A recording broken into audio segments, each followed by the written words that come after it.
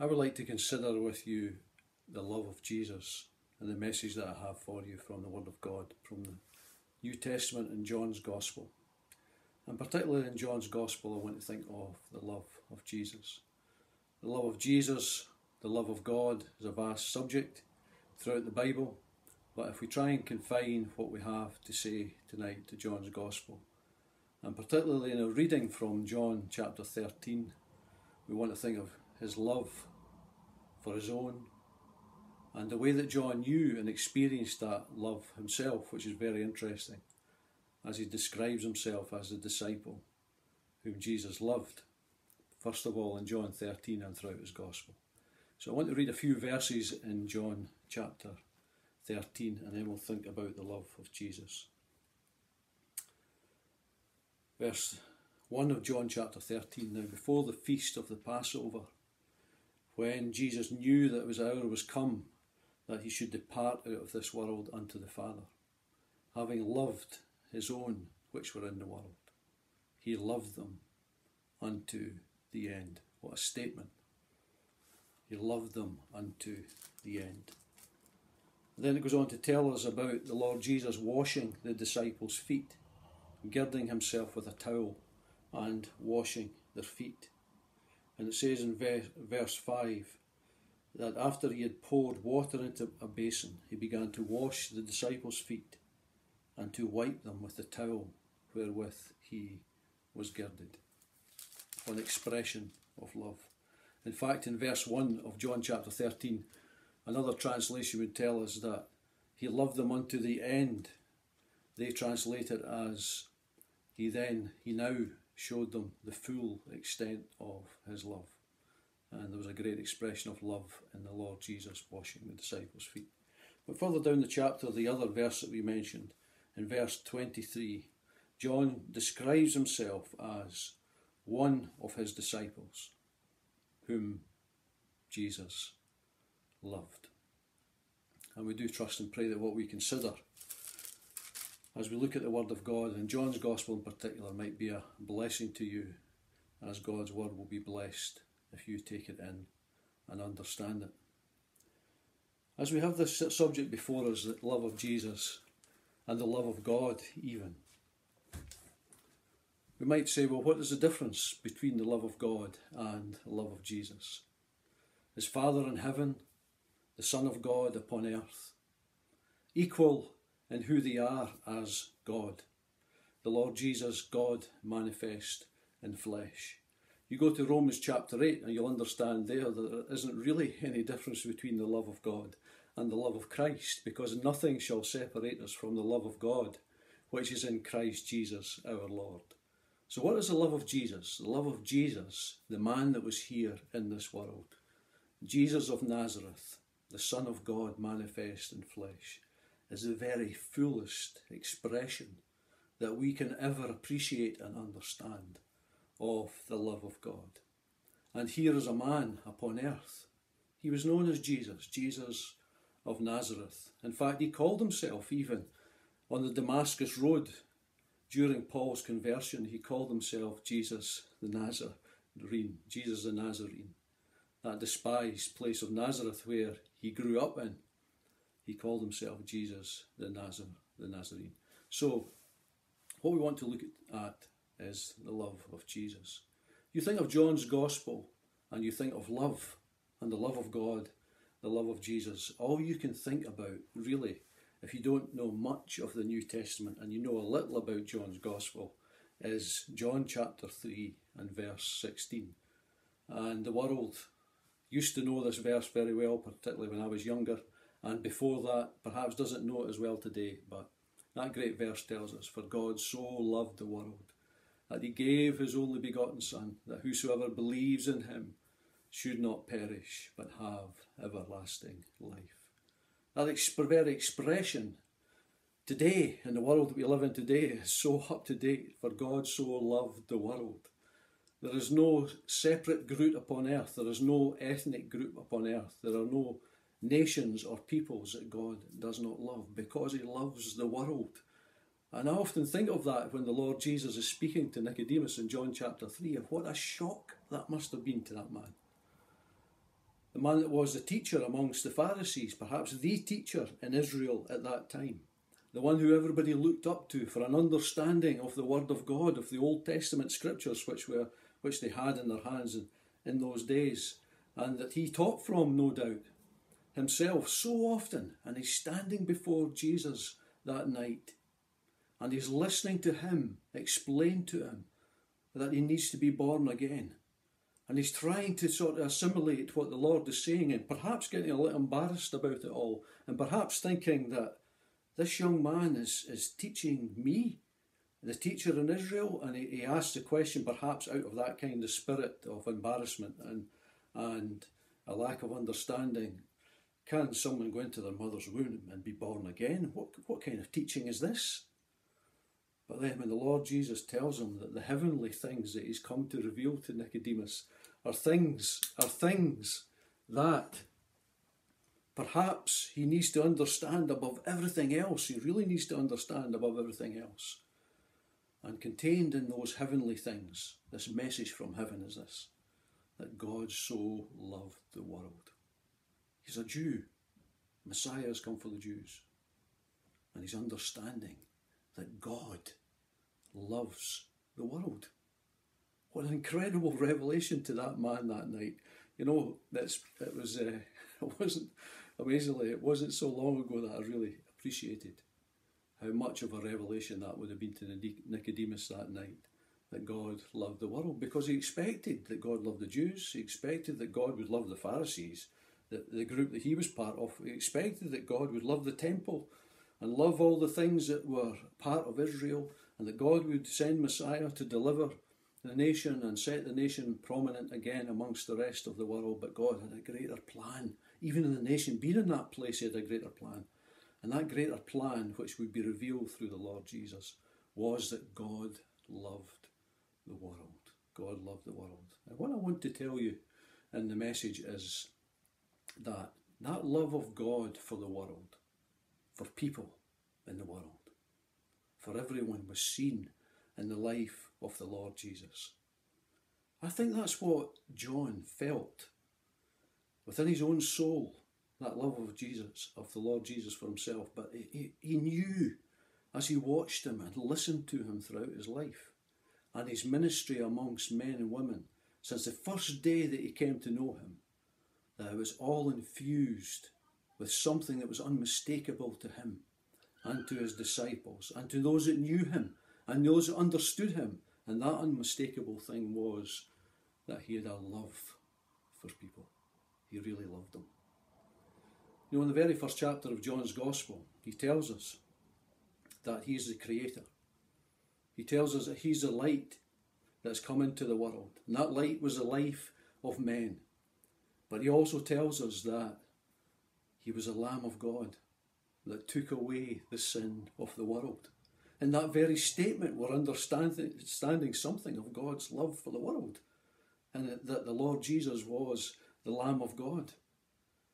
And then you move into chapter 2 of John's Gospel, and we're thinking, I'm thinking, I was thinking earlier on as I thought about how I would present this, that what I want to bring before us is something of the miracles and uh, the key moments in John's Gospel that perhaps reveal to us something of the love of Jesus. You see, the word love isn't used all the time.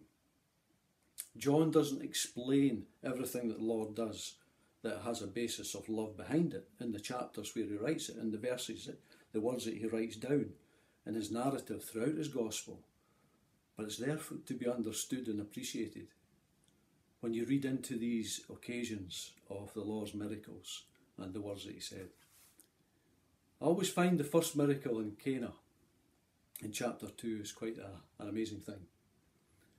That here's a miracle that the Lord Jesus did not need to do. What do I mean by that? I don't mean that he didn't have a plan to do something that day. He did. He knew himself what he would do. There's absolutely no, no doubt about that.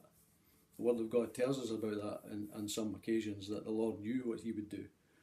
And it's exactly the same in that first miracle in John chapter 2 that he knew, but, but he never had to perform a miracle that day. On other occasions throughout the Lord's life, when the disciples got to know him and he was faced with those that were ill and, and needed to be healed, they expected the Lord to do something about it. They knew that it was almost as if, and it probably was just the case, that illness couldn't be in the ascendancy when Christ was in the presence of someone that needed healed. That he would heal them. His power was so great because of who he was as a Son of God here amongst men, that he could heal and he could bless men and women in a way physically that no one else could. And he displayed that power in his miracles. And he displayed power over nature as he calmed the storm on the sea on other days as well. And on that day, he didn't need to do it. What would have happened they run out of wine in the wedding in Cana? What would have happened? Well, the bridegroom, the master of ceremonies, the person responsible for making sure everything went well, might have been very embarrassed, might have been in a difficult spot, might have had to gather together the stewards or whoever they were to go around and try and find if they could buy more wine somewhere. Try and get their hands on it wherever it was. The Lord did not need to do something. Why? Why did He do it? Why did He supply the wine that was lacking in that wedding? It's because He cared. Something we need to remember that in the small circumstances of life, that you might not be able always to put a tag upon them that require God to do something or the Lord to do something, or you might not even think about asking Him to do anything. He knows and He cares.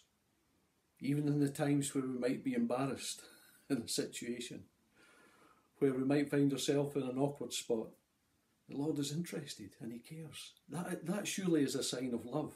For someone to care in a situation where He's not responsible and He doesn't need to do anything and He doesn't want to do it for particularly for his, his own glory, or to make himself the subject of adulation by everybody because of the miracle. He, he, the Lord always wanted people to see past the miracles, to get to who he truly was with the man that was ready to forgive their sins above everything else, ready to bless them through what he said rather than, rather than the miracles that he did. And he manifested forth his glory on that first day. The glory of a man that was willing to bless just because he cared in these circumstances. And that's a lo- lovely thing to see. And as you move on through that gospel, and we've looked at John chapter 3, and you see the Lord Jesus telling Nicodemus that God so loved the world. And Nicodemus is listening to, and of course, it made an impression upon this man because this man then stood up for the Lord in the Sanhedrin and he, he was he was warning them against judging someone before before they really knew him and heard him, and so on. And he was the same man that with Nick, that with Joseph of Arimathea took his body and wrapped it in the linen cloth and the ointments for burial. He was a man that came to appreciate who the Lord Jesus truly was because he listened to the message that the Lord told him on that day that he needed to be born again and that God loved the world, loved the world he was a far bigger God than a God just for the Jew and just for his chosen people, if you like. His design was for the whole world to be blessed by the Messiah, by the Christ, by the Lamb of God. And Nicodemus came to understand that. It's a wonderful thing to understand that. If you've never given it any thought before, I I don't know who might be watching this, I don't know who might be listening to it. If you've never given it any thought before, I want to tell you that God truly loves you. And He loves everybody. And the world needs to hear that message today when there's so much fracture amongst ethnic groups and there are so many people that think they're of more value than other people. And everyone's the same as far as God is concerned. He came to die upon a cross and to give his life that men and women like you and me might be saved. And regardless of the type of person we are, He loves us. He loves us. And that's exactly what John understood of the life of the Lord Jesus here. You see, because you move on from John chapter 3 after we understand that He is the Saviour of the world, really, because God loves the world, that He gave His Son. Move on to John chapter 4. And who's the first person that we read of there that comes into blessing from the Lord Jesus? It's somebody that's outside of Israel, outside of the Jews, outside of that people that the Jew was expecting Messiah to come for. He's an illustration of his love for the world. As the Lord Jesus goes to a woman in Samaria, the disciples come back to this place where the Lord is at the well after they've gone to find food because they need to eat something. Uh, and the Lord is sitting on the well and he's thirsty. And this woman comes and he knows exactly her need. You maybe know this anyway. Do you want to know why that woman went to that town afterwards with her heart so full about the person that sat beside her on the well that day? It's because she knew in his words and his offer of living water to her that was genuine. She knew in her heart that the Messiah the man that told her all things that ever she did, she knew in her heart that he loved her. That's why. She knew that he loved her. A Jew speaking to a Samaritan, it was unheard of. A Jew asking a Samaritan for anything was unheard of. He could be dying at the side of the road. He'd be reluctant to have a Samaritan do anything for him. And the Lord Jesus gives that woman a drink of living water, which welled up in her soul and brought to her eternal life because she believed in him. That's how she came into the blessing of it by faith. But she knew that this man, this greatest of men that was ever walked on this earth, he was more than a mere man, the Son of God, she knew that he loved her. That was the secret to it. And then you're thinking to yourself, well, if he's going out of his way to show his love for the world by reaching out to this woman that so much needed him in her sin. The next person that's blessed is a nobleman. He's a courtier. You see, God, God is no respecter of persons. What the Lord does for this man is he heals his son. And this man, it would seem, had went out of his way to find the Lord Jesus. And after he'd found him, he asked him to heal his son. The Lord Jesus told him that his son lived. His son was back home. The man believed the word that Jesus said, went back home, found out it was exactly the same time that the Lord spoke the words that his son was healed. He asked his servants when it was, it was exactly the same time. But the thing about that, really, for us, about the love of Jesus is, is that his love reaches out to those who are in the higher classes of society as well, even though they don't want it. That's an incredible thing when men get self sufficient and full of their own importance. They think they don't need God, they don't need Christ, they don't need His love, and they can survive on their own. Our world's in a mess. So many people in the world today who think they don't need Christ and they can go on their own way and they don't need the love of God or the love of Jesus. And I see the disciples with the Lord, and this is what's on my mind as I'm thinking of John's Gospel the disciples with the Lord watching all this, John taking it all in, understanding what the Lord is doing, becoming having a fuller and appreci- fuller appreciation of what it is until you get to chapter 13 and perhaps he describes himself as a disciple whom Jesus loved particularly in chapter 13 because he spent that whole time with the Lord and he's seen it all and seen the way he's acted towards those that are around and towards himself. You come into chapter 6. And what about the feeding of the 5,000? Oh, you say the Lord is maybe displaying his power and giving them an opportunity to believe who he is. Yeah, that's true, that's true. But what was the primary reason why he fed them? It's because they were hungry, needed bread. You know, when John's describing the miracles that are the same as the ones in the other Gospels, I think there's only two of them, which is the, the storm on the lake and the feeding of the 5,000 in chapter 6. When John's describing them, it gives you some details just to tell you the impossibility of this not being a miracle that can be attested to and testified to by everyone that was there, all the witnesses. He's really presenting to us because John wants us to believe that he is the Christ, the Son of God. He wants us to have life through his name because we understand who he is and what he's able to do and his blessing for us in salvation because of who he is, the Son of God. So when he's telling us these seven signs or miracles—seven signs they are in John's Gospel, when he's the signs weren't really part of my message tonight, but anyway, when he's telling us about, about these signs, he's um, giving us details so that you can't argue against the facts of what happened. Now, I'm not going to go into the one in the storm in the lake, it's in my mind too, but I was just thinking about the feeding of the 5,000. You go to one of the other Gospels and they talk about, you know, we need 200 penny worth of bread to buy enough for all of these people. Well, Philip, I think is, it says in John chapter 6, he says that amount of money isn't even enough to begin to feed these people. Besides women and children, 5,000 men besides women and children. And the Lord feeds them all with that amazing miracle, with loaves and fishes from his hand.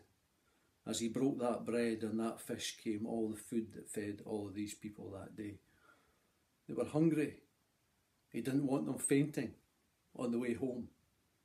He could have, he could have just sent them home. There was plenty others there to help those that were weak. Those that were that hungry that they might have fainted, somebody could have carried them. But the Lord loved them. Other places we read as he looked upon the crowd, he saw them as sheep not having a shepherd. His heart longed after them. He had a, a love for them that no man has, has ever had.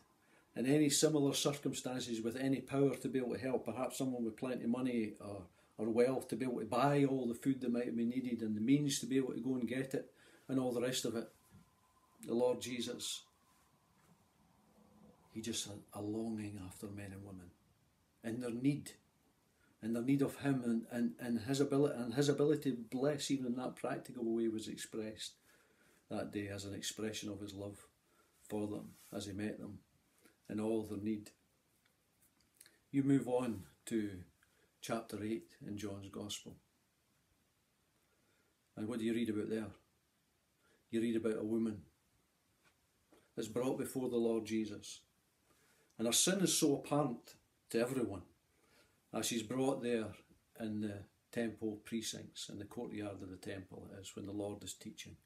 And people have flocked to hear him that day. Early in the morning, they're all there because they want to hear what this teacher is going to say. Perhaps they're looking for a miracle, they want to see something happen.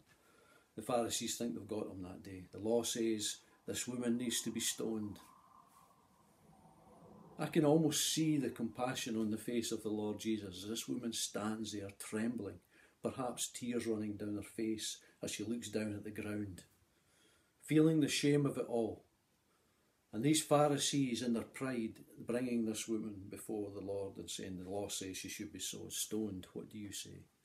And the Lord sees these words. You shouldn't forget two words in what the Lord Jesus said He that is without sin among you among you. Let him first cast a stone. There was no sin in him. All the sin was among them. His conscience gripped them. The power of God was on display that day by the way that his words went right as an arrow into the heart of these hardened men that were gathered around. And they went out of his presence from the oldest to the youngest.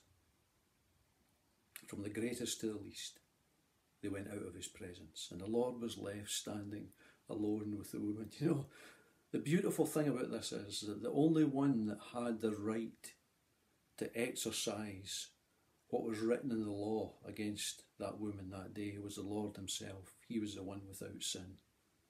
The only one that had the right to judge that day was the Lord Jesus Himself, that woman. And here he is as the light of the world brought before us in that chapter, John chapter 8, which has just exposed the darkness in the men that brought the woman to the temple that day as an example of someone that was a sinner to see what he would do. The Lord's words to her Where are your accusers? Oh, there's no man, Lord. They're all gone. And she's wondering what he's going to do now. Is he going to read the law to her? He knows that she's standing there feeling the effect of her sin. Nobody needs to tell her she's a sinner. He knows that she's standing there condemned that day and she feels that she's in that place. And the Lord says, Neither do I condemn you. Go and sin no more. What words of love for that woman that day. That's what they were. That's what John understood it as. As, as they all in amazement, perhaps, listened to what the disciples listened to what he said, saw how he dealt with people. They would have went home every night, or they would have went to with the Lord to wherever they were staying that night if they weren't close to home, or perhaps he would have went with them sometimes out to, to in Capernaum to Peter's home, or perhaps when he was near Bethany he would have went to Bethany with some of them or whatever. But every night these men would have been discussing something astounding about what the Lord said, the way that He acted in certain situations. And permeated through it all was this grace, this love, the love of Jesus being seen to people who so much needed Him. The thing was, for those that thought they didn't need Him, for them to understand it as well.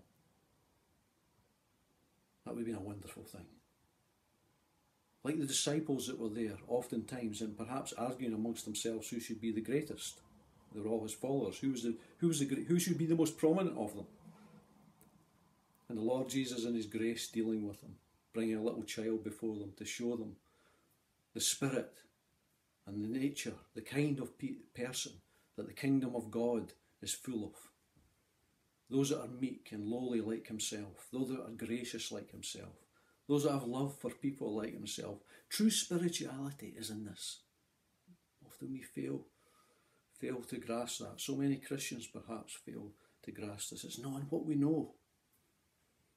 And to know God is great, and to know His Word is great, and I'm not downplaying learning because it's so important, and getting to know our Bibles and what it teaches and so on. But if we miss the most essential thing about it all, it should change our characters and mould it like His and make us like Him. That's the most important thing. John was learning that lesson. I'm sure he was as he was watching and listening to the Lord Jesus throughout his life. And then you come to John chapter 9, and very often actually, you go through John's Gospel, the miracles are an illustration of the teaching that's been brought out in between, teaching by the Lord Himself. So when you think of the Lord Jesus as the light of the world, as the one who doesn't have any sin in himself, and all the sin is in, in the people that are condemning him. When you come to John chapter 9, you see that illustrated by the man, the blind man that's outside the temple. And they're all questioning, the disciples are questioning after listening to the teaching of the Lord Jesus and the fact that nobody could convict him of sin. And if they, if they die in their sins, the Lord has told them already in previous chapter, where, where he goes, they cannot come disciples are listening to what the, what the Pharisees are saying and what the, the Lord Jesus is saying. And they would have, at the end of, the, of, of chapter 8, they would have stoned the Lord Jesus for what he said, far less stoned the woman in the temple if they had had the opportunity as well. But here's the Lord under constraining circumstances, coming from the temple, the man perhaps just there outside, and the Lord with that ability and power that he had to just get out of a situation and move away in complete control because that's what he had. He had that power. And he sees this man. And the disciples are questioning as to something to do with sin in his life or whatever that he ended up in this situation or sin in the past, his parents, and all the teaching of the Pharisees would be going through their minds about, about the, the, the problem of sin. The Lord says it's not sin that's important in this situation. It's that a work of God could be done even in this man that's sitting there. And the Lord goes on to heal him. And the man comes to understand as well, what, through his experience that day of his healing by the Lord Jesus and meeting him afterwards, that the Lord Jesus is none other than the Son of God. Who is he, Lord? He asks the Lord. When the Lord asks him if he believes in the Son of God, he says, Who is he that I might believe in? And I think the man knew. I think the man knew you just need to hear it from the Lord. He says, I that speak to you am He. and he believed on him. And the Lord Jesus heals the man on the Sabbath day. Here's another expression of love that we can understand. That people that go out their way at their own per- personal, to their own personal loss or their, or their potential harm, regardless what other people think about them or might do to them, to help you, are people that truly care for us. And the Lord Jesus habitually healed people on the Sabbath day. Well, the Sabbath day was the day that people were generally free to go to the temple. And they wouldn't be involved in any work. So that they came to, to the temple courtyard and around these areas. And the Lord had opportunity to teach them.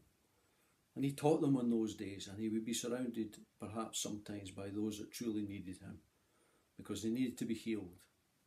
And they were in pain in a desperate case perhaps. And the Lord faced that very often on the Sabbath day, and it was a Sabbath day when this man in John chapter 9 was healed by the Lord Jesus. It was one of the reasons why the Pharisees wanted to kill him, because he healed on the Sabbath day. The Lord wasn't interested in his own personal protection if it meant that he could bless and heal someone that truly needed him. That's why he said the Sabbath was made for man, not man for the Sabbath. The purpose of it was to bless men and women. And if he was there with the ability to heal someone, he was going to bless them on the Sabbath day. And the true spirit, spirit of the law and what it really meant in its fulfillment was revealed through the Lord Jesus and his love for men and women, overshadowing all the rules and regulations that so many had tagged onto the law in the Old Testament, the law of God. And he healed the man, like he healed so many others on the Sabbath day. The man in chapter 5 that's at the pool that I never mentioned, lying there 38 years and the Lord heals him on the Sabbath day. The man didn't even know who he was. He found out afterwards it was Jesus that had healed him. Amazing that, that the Lord never told him who he was. And he found the man afterwards. Uh, perhaps he knew he was going to find the man afterwards and let him know who he was. You know, they, they flung them out of the temple, they flung them out of the synagogue. Why? These people that were healed by the Lord Jesus, not only because he, they were healed on the Sabbath day or because they carried their bed on the Sabbath day, they were so angry that these people were a testimony to the love of Jesus because they didn't care. But he cared. He cared. In chapter 7, and I want you to go back to this. There are men that are sent to take the Lord Jesus, officers from the temple guard. What happened? Well, I, I would like to, I've often thought about this, I would like to kind of paraphrase for you what I think maybe happened. These men go sent by the, the, the Pharisees, the scribes in the temple, the Jews, to arrest the Lord Jesus, the chief priests. They sent them.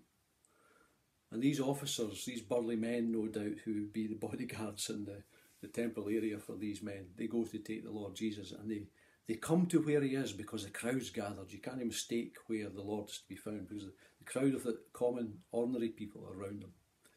And when they get there, you can see them pushing their way through.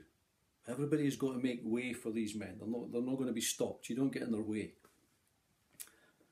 As they're making their way through, perhaps the most prominent man at the front the leader of them all, the, the fearless one. He's right at the front, making his way through his baton or whatever it is. And he's planning to ad- arrest the Lord Jesus. And he hears these words from his lips If any man thirst, let him come unto me and drink. If any man thirst, let him come unto me and drink. And he looks into the eyes of the man that he's supposed to arrest. And he hears the words from his mouth and what he's saying. And he sees a genuine, loving expression on his face. And he understands that here is someone that's a teacher in Israel, someone that's teaching the people like his, his own um, boss might be in the temple. and he looks into this man's face, Jesus Christ, and he sees a genuine expression of care and concern, with a desire to bless in the way that he's saying it, with a longing for men and women to know that blessing. And he can see it all and he realizes the difference between this man and those that have sent him. That perhaps were teachers of the people as well and leading the people in a certain direction. And he suddenly understands and sees the contrast.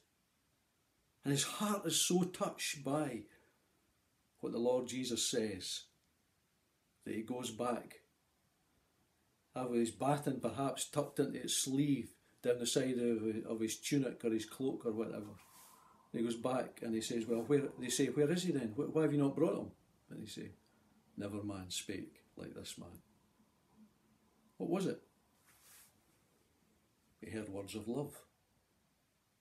He heard words from a man that genuinely cared, that genuinely had a heart for people, that wanted to bless them above everything else.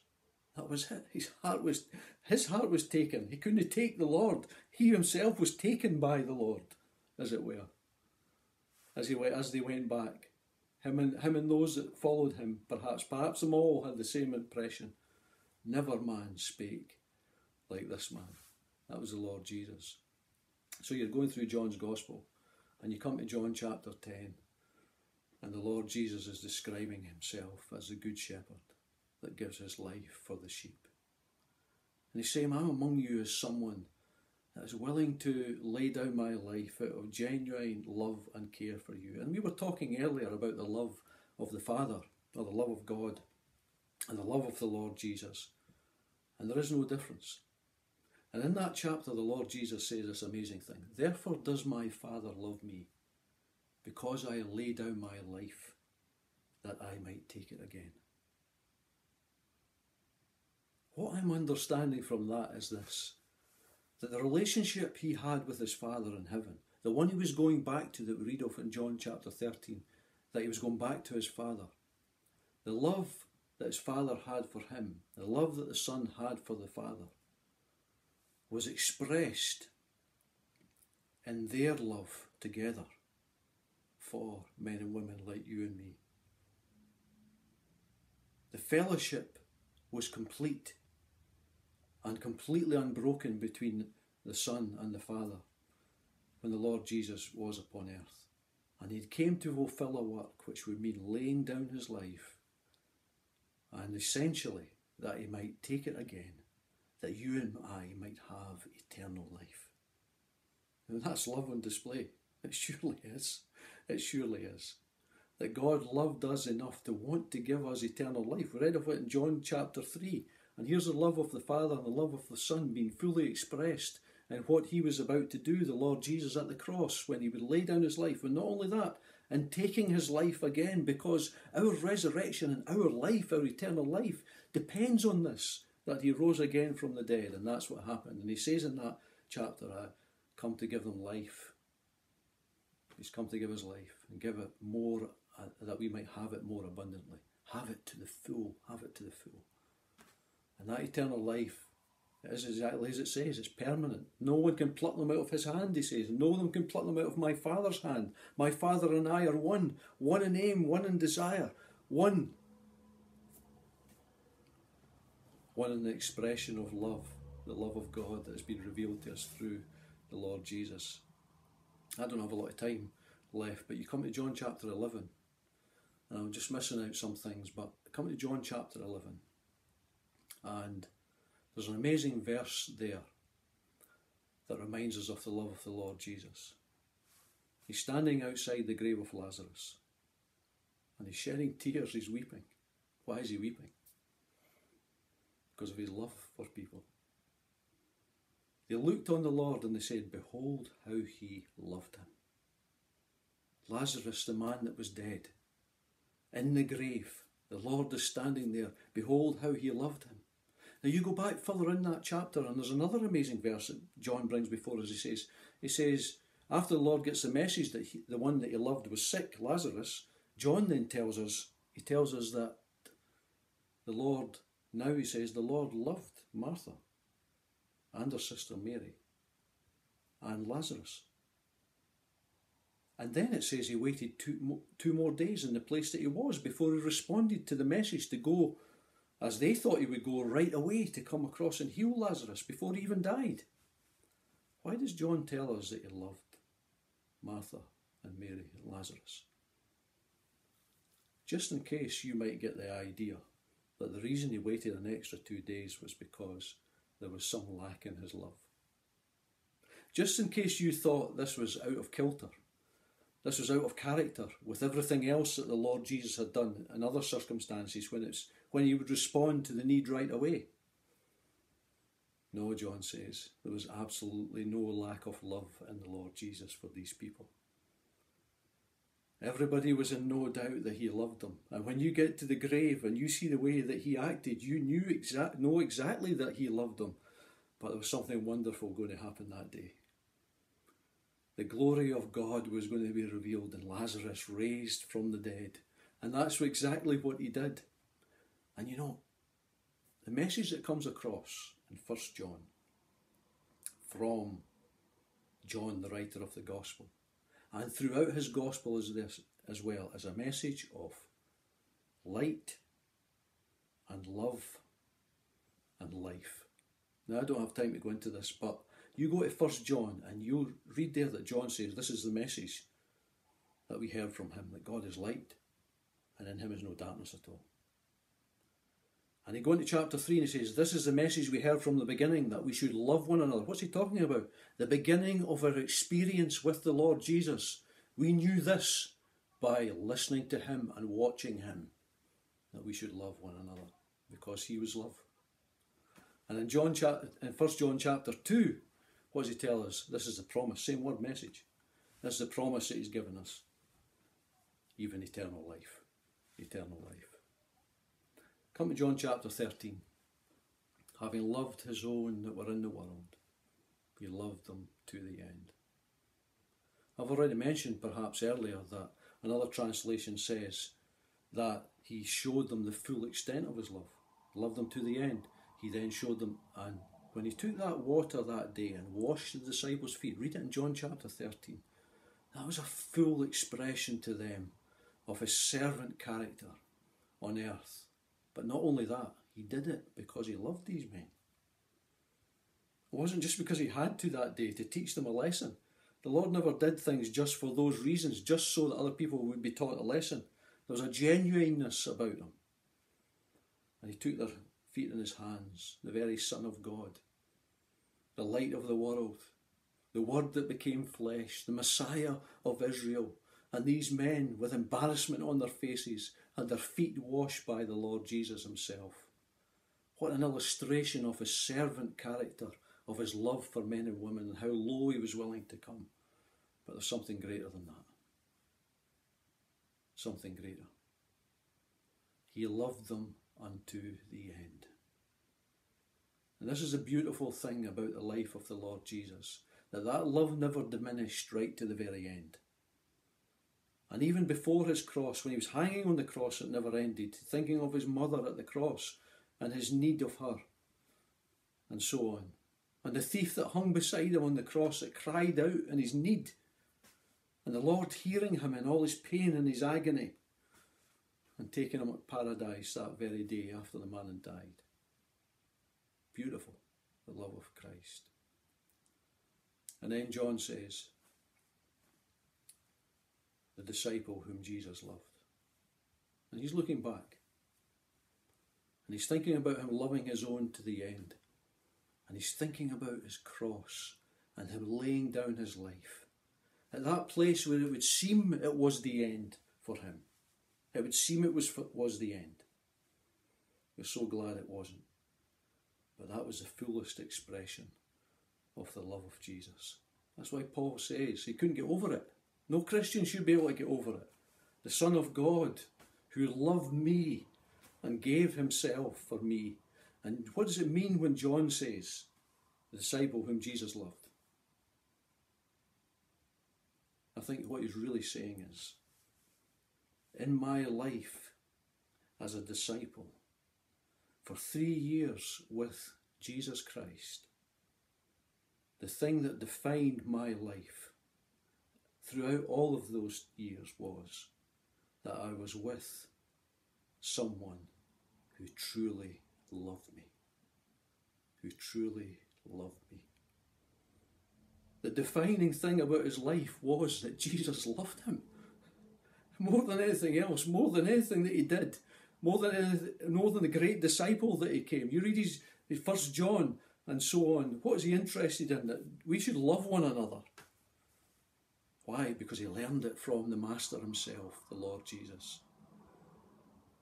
And when he's thinking back about that time and what he's going to call himself when he doesn't want to give his name, he could have said, I'm, the son of Zebedee, or one of the sons of Zebedee. You know, I was a fisherman that Jesus called. No, no, no, no. Perhaps John understood it and appreciated it a bit more than the other disciples. That's possible at that moment he did. But he was a disciple whom Jesus loved. The disciple whom Jesus loved. What are you? If you're not saved, if you don't know anything about it, you're the sinner that Jesus loves, that Jesus loves, and he died for on a cross. What about me? I'm the Christian that Jesus loved. I'd love to be a better disciple, the disciple whom Jesus loved. For every one of us, if this defines us and we understand it and we know it and we appreciate it, it'll mould our characters. It'll make us better, better men and women for God if we understand it fully, that we are the person. We're the person. We are that man, that woman who Jesus loves. Thank you.